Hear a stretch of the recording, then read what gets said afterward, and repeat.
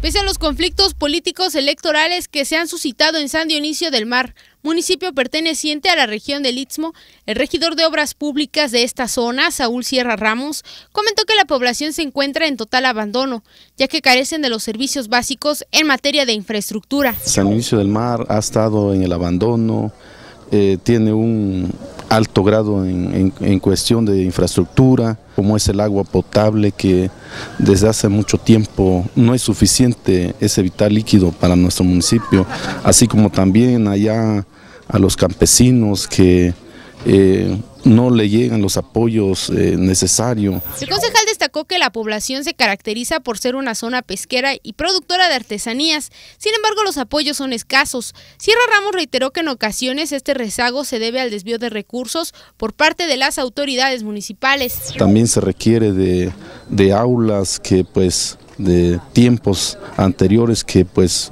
eh, no se ha dado esa atención que se merece. Eh, han comentado de que pues son unos, unos grupos de chantajistas, unos políticos que eh, ven sus intereses personales, hacen de que pues eh, ahora sí atorar el, avance, el desarrollo del municipio.